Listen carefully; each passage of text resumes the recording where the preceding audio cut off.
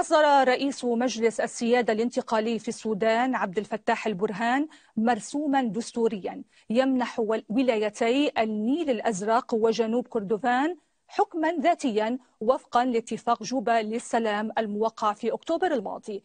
وينص الاتفاق على منح الولايتين حكما ذاتيا من دون المساس بوحدة السودان شعبا وأرضا. بعض مخرجات جوبا يحين قطافها. ذاك اتفاق أكتوبر الماضي على عودة نظام حكم فيدرالي في السودان بين حكومتها وممثلين لحركات مسلحة. أغلقت أبوابه جحيم اشتباكات امتدت سنوات. منح ولايتي النيل الأزرق وجنوب كردفان حكما ذاتيا أحد وعود جوبا للسلام. يصدر مجلس السيادة الانتقالي برئاسة الفريق أول عبد الفتاح البرهان مرسوما دستوريا بذلك. وتعمم وزيرة الحكم الاتحادي بثين إبراهيم بدء تنفيذ المرسوم على واليي المنطقتين تتمتع الولايتان بنظام الحكم الذاتي دون المساس بوحدة السودان شعبا وأرضا تؤكد الوزارة في بيان لها. نية حسنة يفسرها وكيل أول وزارة الحكم الاتحادي يقول إنها خطوة مهمة لتنفيذ سلام طال انتظاره. بحسب الوكيل المرسوم عالج أكثر القضايا تعقيدا في نظام الحكم بالولايات وجذور مسببات الحرب فيها. فهاتان الولايتان دخلتا حروبا منذ عام 1985 ضد الحكومة المركزية في الخرطوم.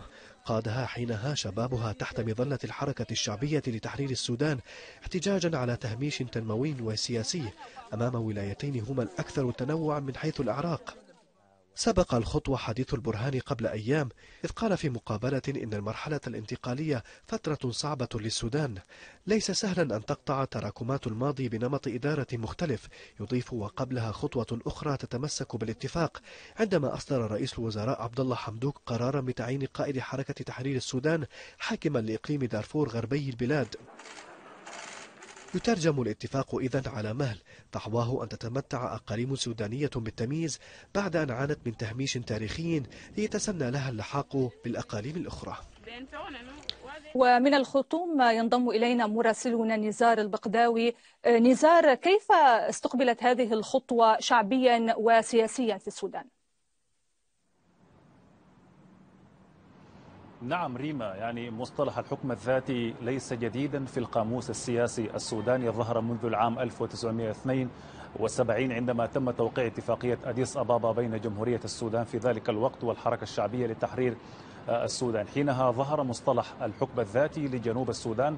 هذا الأمر لم يمضي إلا لسنوات قليلة وألغي من قبل الرئيس السابق جعفر النميري في العام 83 هذا المصطلح الذي تم التأكيد عليه اليوم من قبل مرسوم سيادي أصدره رئيس مجلس السيادة عبد الفتاح. البرهان أعطى منطقة النيل الأزرق وجنوب كردفان. النيل الأزرق هي ولاية معروفة تحادد أثيوبيا ولها حدود مع الداخل السوداني. أما ولاية جنوب كردفان فتضم جبال النوبة وتضم أيضا ولاية غرب كردفان. ولاية غرب كردفان ريما سيكون لها وضعية خاصة. بعد أن يتم إقرار مؤتمر نظام الحكم في السودان ستخير هذه الولاية. هل ستنضم مباشرة إلى الحكم الذاتي في ولاية جنوب كردفان أم ستستقيل كولاية لذاتها. الذين أيدوا هذا المرسوم الذي صدر من قبل مجلس السيادة يقولون بأنه سينهي عقودا من الظلم. تعرضت لها منطقة النيل الأزرق وجنوب كردفان. هنالك ظلم لحق بهاتين المنطقتين. وما يتمتعان بتعدد إثني وعرقي وديني ولم ينال حظا من التنمية والظلمتاء اقتصاديا وسياسيا وهم في الخدمات والتنمية. لذلك ما تم اليوم يعني هو بداية جديدة لإحقاق الحق هو بداية لإنفاذ ما تم الاتفاق عليه بجوبا. مسألة الحكم الذاتي طرحت بقوة خلال اتفاقية جوبا طرحت الآن خلال هذه الجولة التي تم رفعها بين الحكومة السودانية وحركة عبد العزيز الحلو مسألة الحكم الذاتي طرحت من قبل الحركة الشعبية وطرحت أيضا كمفاضلة بينها وبين تقرير المصير وبين فصل الدين والدولة. لذلك هذه المسألة هي مسألة الآن ترحب بها من قبل الجماهير في منطقتي النيل الأزرق وجنوب كردفان. سياسيا ينظر على أنها أولى المحطات لإنفاذ اتفاقية جوبا. ينتظر أيضا استكمال التأمين على أقاليم دارفور التأمين على المجلس التشريعي التأمين على المحكمة